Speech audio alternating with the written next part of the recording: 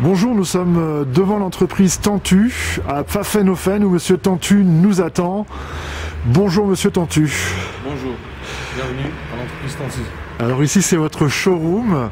Euh, le bâtiment est magnifique et en plus euh, il a été inauguré donc le 9 mars 2012 par Monsieur Philippe Richert, par Monsieur le ministre, donc ça rigole pas. Alors on va entrer. Donc là vraiment ce qui, frappe à l'œil c'est cette magnifique fresque qui a été peinte par Edgar Mahler. Et puis l'escalier où on monte vers vos locaux avec une superbe balustrade en métal. Très beau travail de chaudronnerie. Bon, revenons à vous, monsieur Tortu.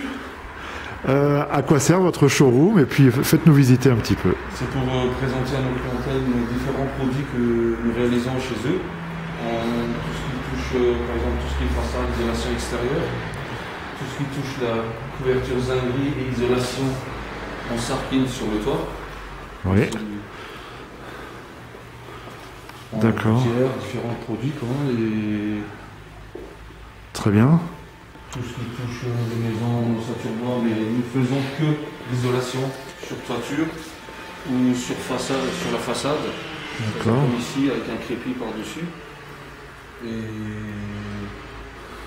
tous nos produits qu'on peut présenter aux clientèles en direct pour qu'ils puissent voir à quoi ça, à quoi ça tenir. D'accord. Eh bien, parfait. Merci, monsieur Tantu. Merci à vous.